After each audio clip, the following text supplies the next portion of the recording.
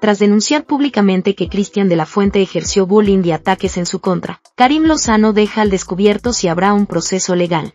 Es de conocimiento público que Karim Lozano tuvo muchos conflictos con Cristian de la Fuente cuando grabó la telenovela Quiero amarte. Según ha mencionado la actriz, su colega realizó presuntos bullying y ataques en su contra.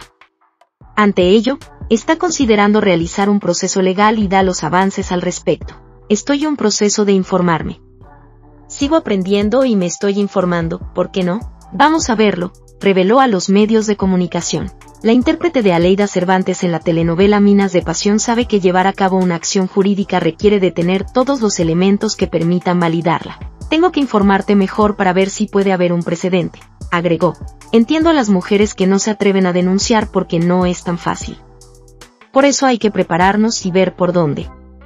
Hablo para las mujeres que han sido violentadas, advirtió. Antes de hablar tienes que informarte bien con un abogado porque una falla y ya te tumbaron el caso.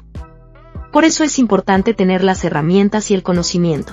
La famosa también señaló al actor de haber esparcido información falsa sobre ella con el fin de perjudicarla, como que no quería besar en los melodramas por su religión. Esa fue una mentira de esa persona, Cristian de la Fuente, para desacreditarme profesionalmente.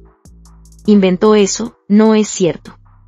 Soy una profesional, los besos son actuados. Nunca, jamás, he dicho no voy a besar por mi religión.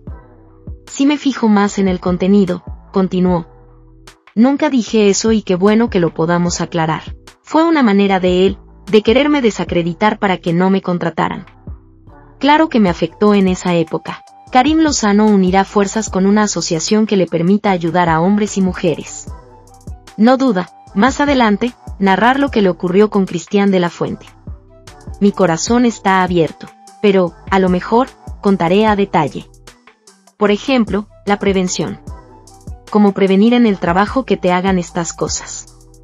Si hubiera sabido, hubiera prevenido esto que viví, pero no lo sabía.